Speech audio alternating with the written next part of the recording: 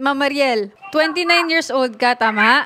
Opo. Tapos, 14 years mo ng karelasyon si Dax. Dax yung pangalan 14 niya? years and 5 months po. Wow, sakto. Opo. Okay. So, 15 years old ka pa lang, kayo na. Opo, third year high school po. Anong edad ba ni Dax? Mas matanda ba to sa'yo? 30 po. At ang hilig mo sa amin ay gusto mong malinawan. Gusto mong makausap itong Opo. boyfriend mo. Bakit? Hindi ka na ba niya kinakausap? Hindi po. Pag tumatawag po kasi ako, kinakancel yung mga tawag ko. Kahit umabot talaga ako ng 200 missed call, kahirapan po talaga yung pag-contact ko sa kanya. Kahit online naman po siya sa Facebook niya, hindi naman din po siya tumatawag. Tapos nag tumatawag po ako, kinakancel po. Auto-reject yung call ko. 200 na missed calls po, ma'am. Opo. Araw-araw mo bang ginagawa yan? Bali, ngayong first week ng April po, tum- tumigil na po ako sa pag-contact sa kanya kasi napapagod na din ako. Bakit ganyan yung ginagawa niya sa amin ng mga anak ko? Ayun lang. So may anak pala kayo, hindi kayo kasal? Hindi po. Dapat sana nung plano kasi namin nung December, Hmm. magpapasibil sana kami. Mm. Kaso, nung time na yun, nahuli ko na na nagloko siya. Tapos siya na mismo nagsabi na hindi mo na magpapakasal. Nahuli mo na siya nung December. Opo, Na December meron na 21 siyang po. iba. Opo.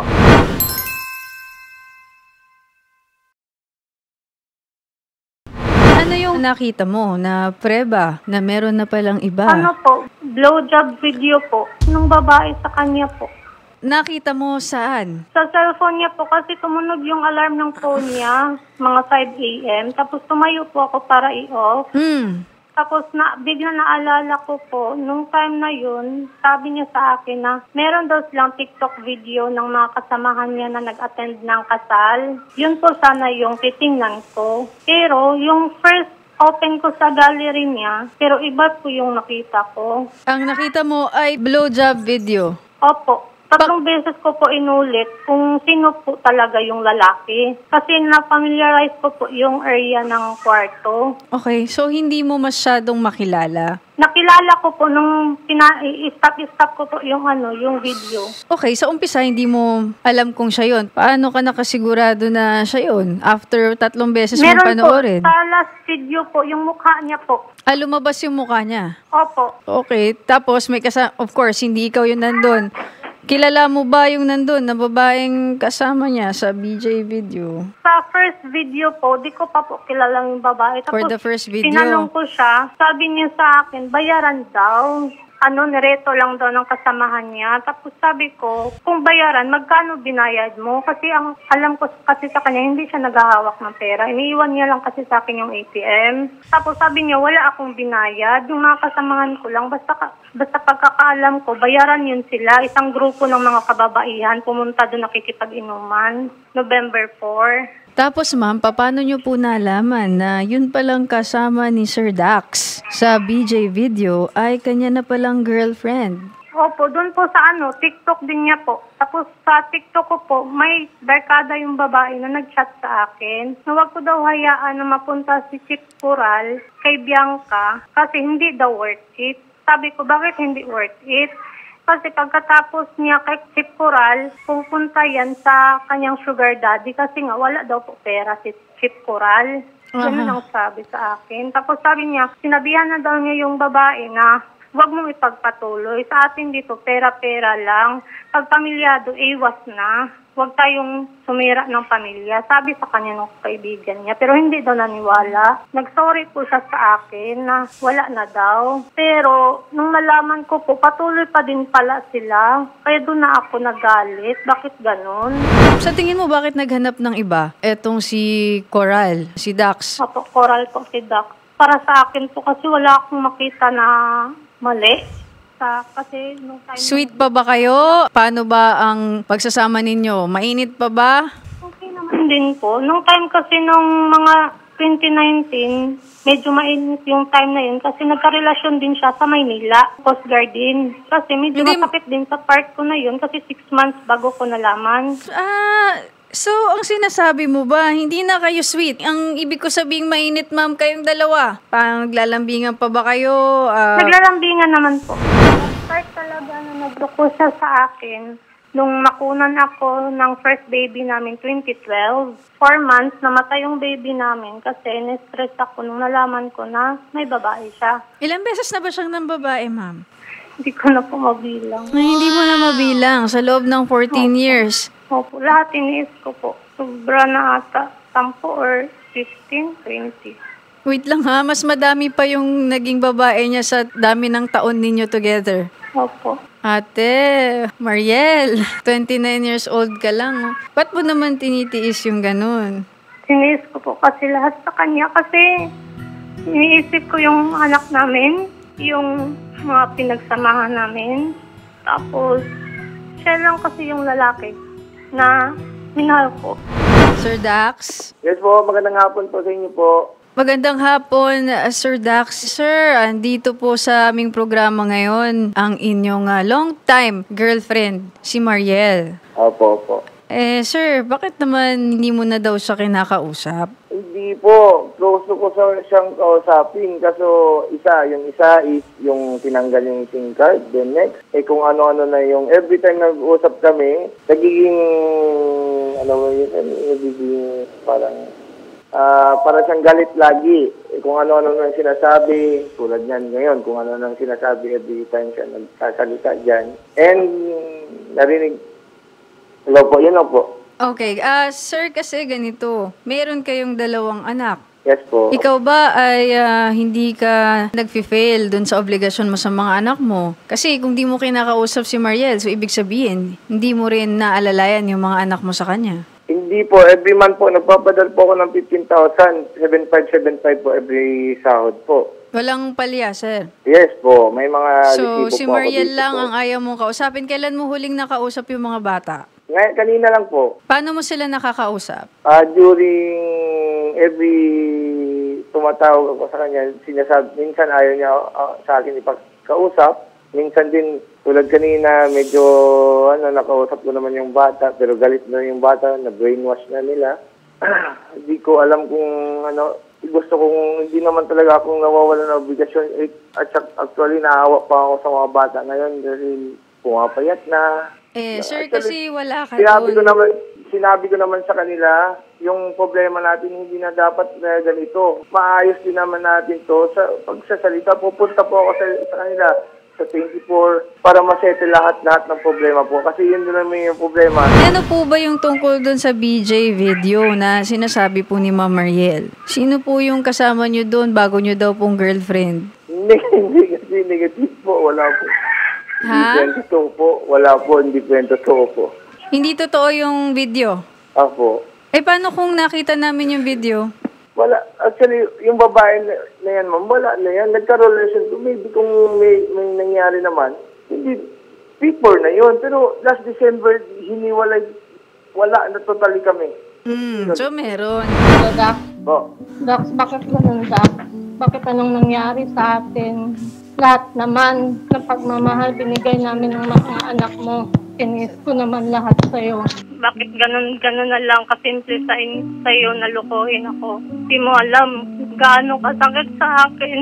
Nasa pagitan ako ng mga anak ko, pamilya ng mga anak ko, at yung pagmamahal ko sa'yo. Sobra yung pagkadurog ko. Dahil sa ginawa niya, sabi niya sa akin, wala na. Pero yung babae mo pa na yung text dito sa akin kahit hindi naman ako nagtitext sa kanya. Mga post na mga pictures, mga nagchat-chat sa akin, nagsasama pa din kayo. Bakit hindi mo masabi sa akin ang diretsyo na kayo pa? Bakit pinapaikot niyo pa din ako sa mga kasinungalingan niyo? Dak, kahit respeto naman, Dak. Minahal kita ng buong buo kahit sarili ko. Wala na akong tinira. Tiniis ko naman lahat. Bakit gano'n na lang kadali sa'yo no? Itapon yung mga pagsasama natin.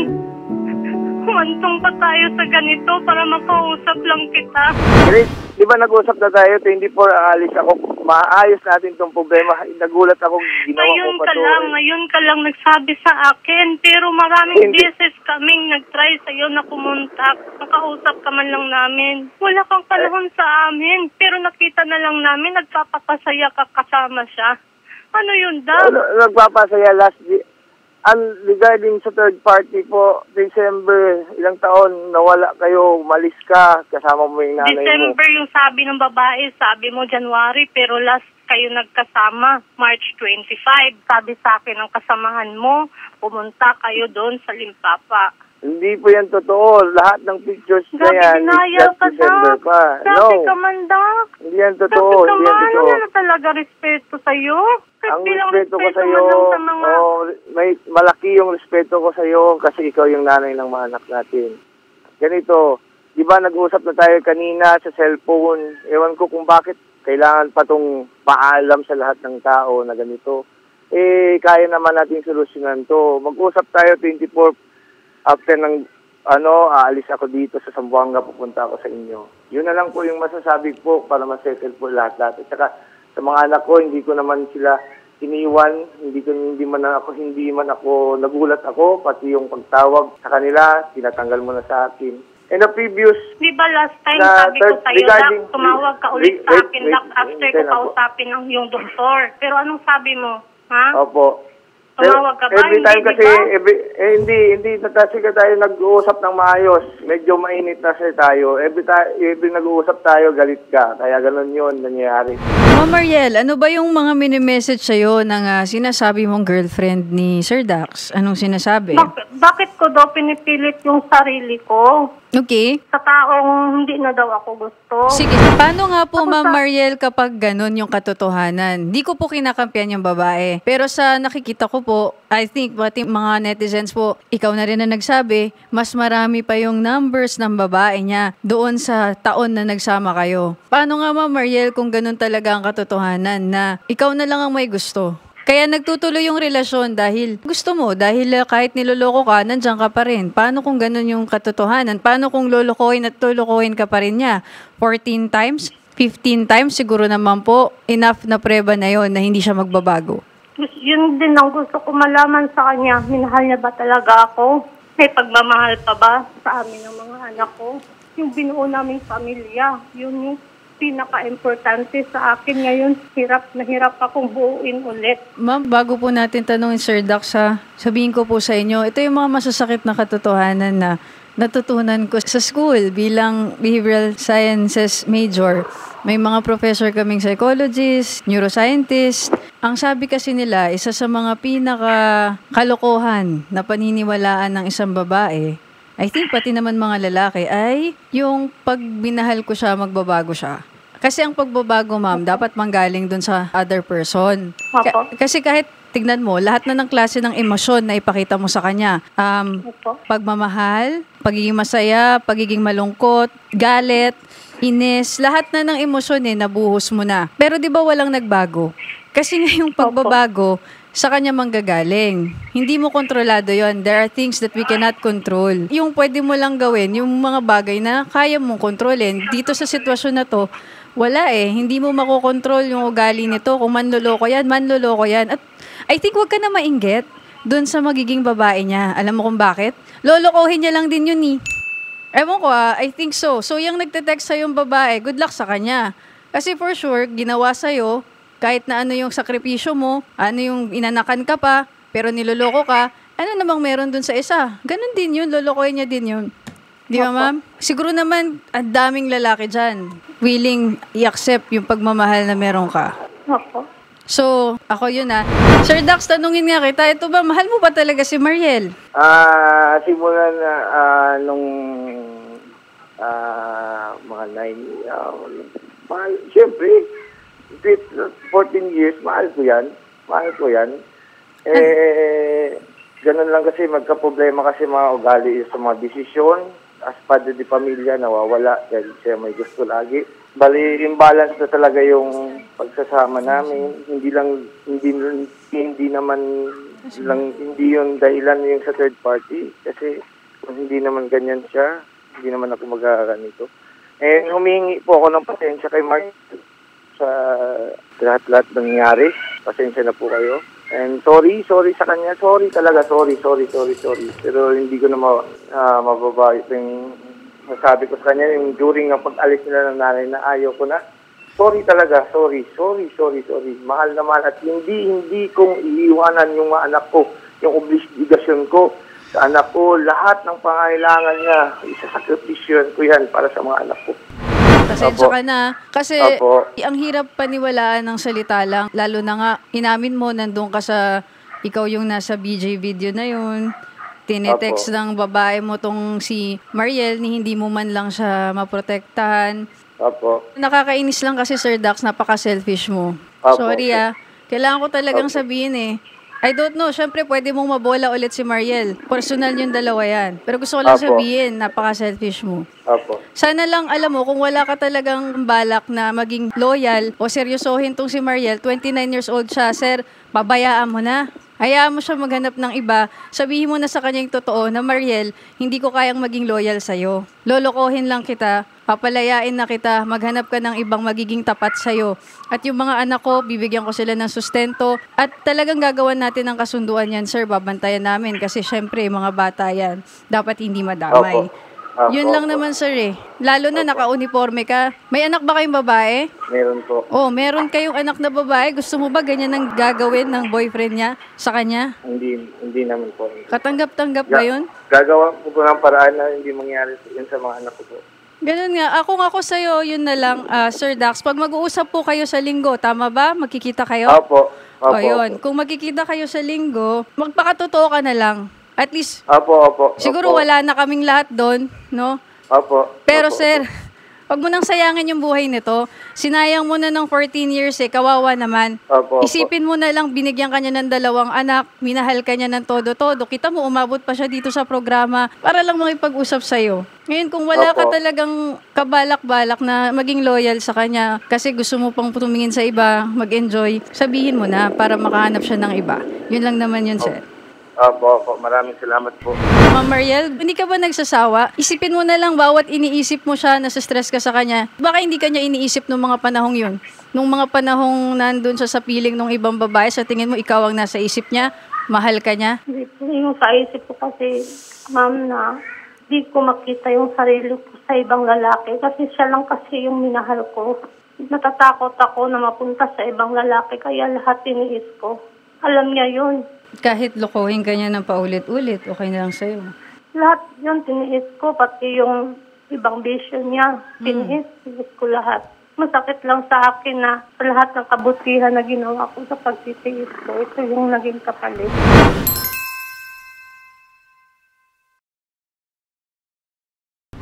Si Shari daw, may sasabihin, ma'am. May isang tanong Oh. lang ako. 2008 po kayo nag-start, no? Seven po. 2007. Kasi kami 2008 na dapat 14 years na rin kami ngayon. Oh! Oo, dapat 14 years na rin kami, ma'am, ng ex ko, no? Pero alam nyo, ma'am, paulit-ulit din kasi akong nasaktan. Kaya alam mo, ma'am, inisip ko na lang hindi ko deserve yung ganong lalaki. Okay? Lalo na, ma'am, alam nyo, ma'am, yung mga bata, sa'yo yan kukuha ng lakas ng loob. Mm-mm. So, kailangan maging matatag ka as ah, nanay, no? Kasi sa'yo sila kukuha ng lakas. Ma'am, ito, bibigyan naman namin kayo ng chance ni Sir Dax na makapag-usap para na lang sa bata. Noong November 2020 po, November 6 po, nag-propose po siya sa akin. Ay, may sing-sing, ma'am. Nag, opo, tapos nag, ano na po siya ng permission to marry daw doon sa trabaho niya. Kailan yung video, ma'am? Ano, December 2021. Tapos- Bali, ang sabi niya sa akin, magpapasivil kami sa Sambuanga gamit yung bonus niya noong December. Gusto mo bang tanongin Yun natin siya ngayon? namin. Bakit hindi natuloy yung kasal? Nalaman ko na po yung pagluloko niya. Tapos siya na mismo nagsabi sa akin na wala ng kasal. Bakit daw wala ng kasal, ma'am? Kasi daw sa nangyari sa amin. Tapos nung pagka-uwi ko dito, pinakuha niya naman ako ng sinumar kasi sabi niya, pagpunta niya dito, kukuha kami, pasal namin yung late registration ng 3 years old na anak namin. Tapos kasama na din yung pagpapasigil namin. Kumuha na naman ulit ako ng sinumar. Tapos after that, sabi niya, hindi na naman daw itutuloy ang kasal. Um, gusto mo ba yung ganyan, yung pinaglalaruan ka? Daig mo pa yung bola eh. Yun na nga, ma. Yun na nga po, attorney na Ah, ano. parang dinidribble ka lang ng dinidribble? lang ako. Ma'am, pwede na magsalita? Teka lang, Sir pinapaikot-ikot Dax. niya lang po ako. Oy, pinapaikot ka, dinidribble ka. Actually po, hindi po yun yung decision ko na magpakasal lagi po. Bali, magbulang niya ang nagsasabi sa akin bago Hindi. ko kunin Di ba ikaw yung mismo magulang. yung nagsabi kina mama? Hindi, hindi. Mas Tinanong ka ng parents ko na kung ano ba talaga yung plano Kung mo. gusto mo ng, kailangan ng assurance, kailangan ko kumuha ng sinumar, sil sinumar. Bali, edi, eh, ganito na lang, yung problema kasi natin, nagdesisyon yung iba. Maraming desisyon, maraming ano, hindi na lang tayo pwede mag-usap na tayo yung dalawa. Kasi, ganun kasi yung nangyari sa atin eh. At saka, in the first place, hindi yung third party ang nangyari, kundi sa mga ugali na sa mga hindi, desisyon. hindi, Dak. Kasi kung gusto mo na magkaayos tayo, bakit sa iba ka nakakapag-comfort? Instead sa Okay. akin, instead sa akin mo, ako yung kausapin mo, bakit sa iba mo binabaling yung atensyon mo? Okay, Di ba mali yung... din yun? Sa la- lahat, lahat ng... Hello? Lahat po ng... Lahat, lahat po ng sinasabi natin ngayon, bale, humingi ako sa iyo ng paumanhin. Sorry talaga sa nangyari. So, ganito na lang sa 24. ah ayusin natin kung settlement sa mga settlement para sa mga bata, kung ano man. Yun lang, yung, yun, yun lang yung paraan. Kasi malayo tayo sa Buanga to Butuan. Butuan City. Ginawa ka na magulang mo sa akin. Hindi ko naman akalain na mangyayari yun. At saka, yun na nga, sinasabi ko, dahil sa nangyayari yun, desisyon ng iba ang naging mas makapangyarihan, hindi sa atin. Mas bet- better ayusin natin to sa face-to-face natin, sa pagkikita natin, kung ano man yung mga, ano, kasi kung through phone only, mahirap, hindi tayo nagkakaintindihan talaga. Mas better pa, ma-settle natin to ng maayos. Sorry sa lahat nangyari. Sorry, sorry, sorry. Yun lang po. Ma'am Mariel, ano na? Apo. Okay na kayo ulit? Bati na ulit? Ha? Antayin ko na lang po yung pagpunta niya dito po. Ito last ko ng advice sa'yo. Kung makikinig ka, Apo. that's entirely up to you. Kung di ka makikinig, ikaw na rin yung sisira ng buhay mo. So good luck sa'yo. Um, manipulative po itong karelasyon ninyo. Okay? I've been listening to him kanina pa. Siyempre, gusto niya na kayong dalawa lang para mas madali kang bulahin. He's been doing that for the past 14, 15 years and he will do that pa. So, it's entirely up to you. Nag-advise na po kami sa inyo ni Shari kanina and ako as a behavioral scientist, sinabi ko na din sa'yo kung ano yung maa-advise ko sa'yo. Attorney, attorney, kasama ko yung magulang ko po sa pag isasama ko po yung magulang ko sa pagdaya para po family, hindi lang po kami mag-uusap dalawa po. Yun nga, Sir Dax, eh. Sana nga, Sir Dax, kung gusto mong ayusin, ayusin mo. Hindi yung lolokohin mo. Opo. Marital I infidelity, Sir Dax, 12 Opo, years opo. imprisonment yun.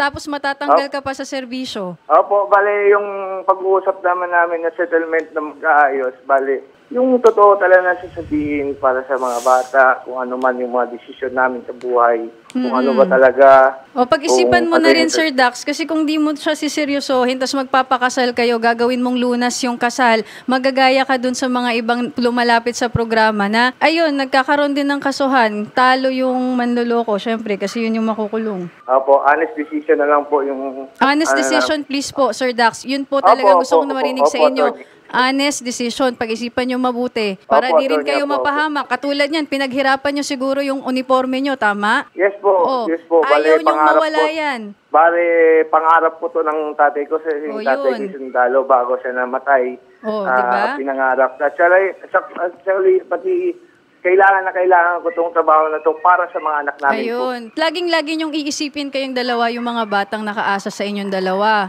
So, Sir Dax, Opo. honest decision po ang aasahan namin sa inyo. Mag-usap po kayo ni Mariel. Kung gusto nyo ng Yes counseling, gusto nyo ng referee, andito lang ako. Pwede nyo akong tawagan. So, Opo, thank you very much po. Maraming salamat Oo. po. Maraming po, maraming po salamat. Oh, Ah, sige. Siyempre, honest halos magkakaedad kasi tayo eh. So, naiintindihan Ah. ko yung nararamdaman ninyo siguro na at this age talaga, may marami tayong mabibigat na desisyon na kailangan gawin, di ba, Shari? Yes. Oh, Mariel?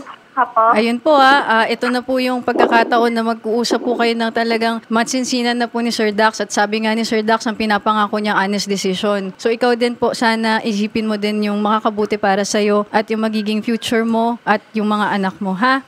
Apo. Isipin mo rin yung yung worth mo bilang babae, bilang tao. Apo. Yung value mo. Do not forget Opo. your value. Na hindi ka dapat sinasaktan, hindi ka dapat alam mo nag-iisip ng ganyan na para bang wala kang kwenta. Kasi kung ganun yung pinaparamdam sa'yo ng person, baka naman hindi siya yung tamang tao para sa'yo. Kasi alam mo, Ma'am Mariel, may mga studies na rin, ayoko, off-air na lang natin pag-usapan. So, kung mali siya, iwanan mo na para mahanap mo yung tamang tao na para sa'yo. Kasi kung hindi mo siya iiwan, tas mali naman siya for you, wala. Miserable ka habang buhay. Tama po. Okay. So sige, uh, Ma'am Mariel at uh, Sir Dax, maraming salamat sa inyong tiwala. Huwag niyo pong ibababa yung mga phones niyo. Magkakausapin po kayo ng mga staff. Okay po. Sige po, thank you po, attorney.